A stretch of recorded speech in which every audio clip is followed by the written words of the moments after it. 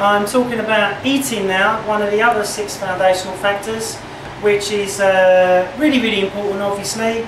If you're not eating the right foods, you're not going to be thinking correctly, you're not going to be moving your body correctly, you're not going to be strengthening your ligaments, joints and tendons, and you're not going to be energizing your body properly. You know, we all walk around the streets and we see people with big uh, uh, bellies and which are not in shape and that's caused by you know eating lots of sugar that gives them a rapid high followed by a rapid crash that makes them gain weight around the midsection.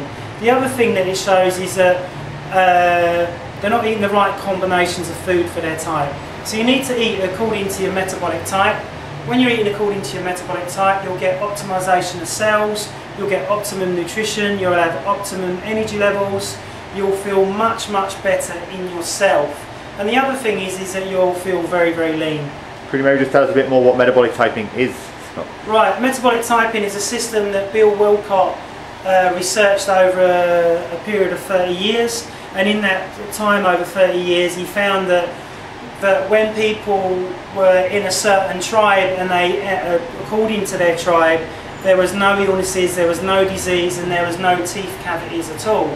So with this system of metabolic typing, you go online, you fill out a questionnaire, that tells you what type you are, whether you're a fast oxidizer, slow oxidizer, or a mixed oxidizer. But there is essentially 12 different metabolic types.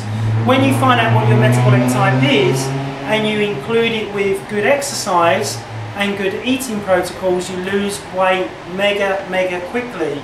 And your energy levels change, your muscle tone changes, you feel leaner, you look younger. Uh, there's so many positive benefits to, to metabolic typing. I, I urge you all out there today to go and get metabolically typed in which for you to find out what type you are so you eat according to where you come from or according to what your body needs.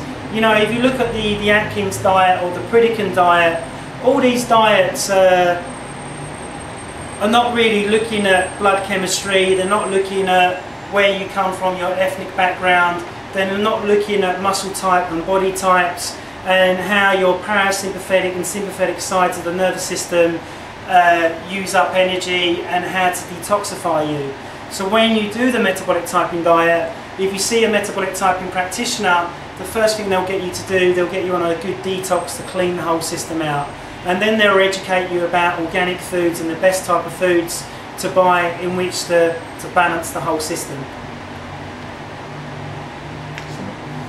So to sum up, Scott, what would you say about nutrition and the uh, effects uh, so on holistic with nutrition, health? I'd say uh, not all diets are right. There's a gazillion books about diet, so make sure that you research and you study about diet. And if you're going to get a trainer or a nutritionist to look after you don't go and see a nutritionist that's big and fat and out of shape. Because obviously they're not practicing what they preach. If you go and see a CHEK trainer or somebody that really knows about metabolic typing like a metabolic typing practitioner they should be in awesome shape. If they're not go and see somebody else. I urge you to make sure that you see the right people